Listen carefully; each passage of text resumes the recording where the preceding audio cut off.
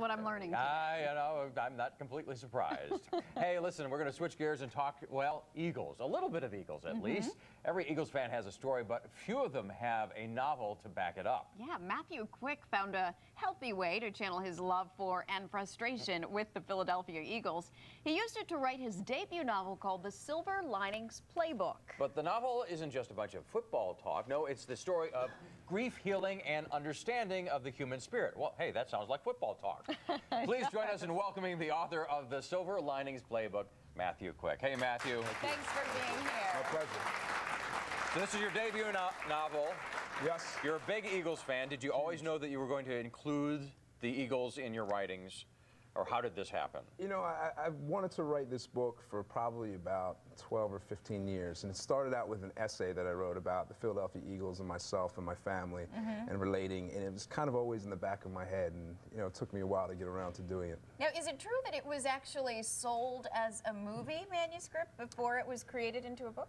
Well, the book was optioned by the Weinstein Company, uh -huh. and they bought the book early uh, for the movie rights. And uh -huh. David O. Russell is working on the screenplay right now. That's so cool! Yeah, How very excited. Yeah, very excited so, about that. So this was a quick deal for you? It was easy to get the book published? It wasn't easy. Uh, a lot of people passed on it, actually. There was a lot of editors that passed. It actually sold in Italy first. Mm. Um, with, and that's that's my best contract, the translation in, into Italian, which is kind of funny. So, you know, things happen quickly, but of course they didn't happen easily. And uh, there was a couple books that were rejected before this one as well. So tell me about the story. If I, I, I love to read, I love stories about love, and I love stories about football, which is an interesting combination. Tell me about the story. Yeah, it's not really a football book per se. There's a helmet on there, and you know, there's the Eagles and Hank Baskett are mentioned a lot. But it's about a guy who leaves a neural health facility in Baltimore and comes home to live with his parents in the Philadelphia area. And he has this quirky theory that his life is a movie produced by God, and that if he becomes a better man by working out and becoming kind, that his estranged wife will be returned to him. Hmm. Now, there's a lot of pain, a lot of grief in this. There is, and there's a lot of disillusionment as well, a lot of denial, and so it's it's kind of a quirky, funny story, but there's a sadness undercutting it as well. But of course, he, he meets some new people that help him get through this, and you know, and he there's goes, always the silver lining. That's true, yeah, and there is a there is a silver lining towards the end of the book, and I won't give it away, the spoiler book. So, do the Eagles help him through this is this a good Eagles story?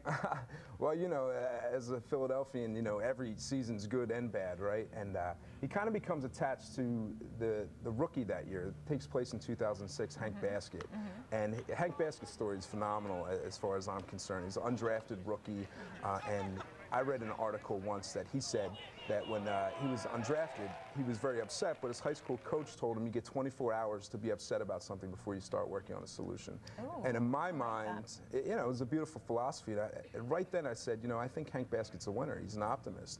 And so I wrote him into the book before he did anything.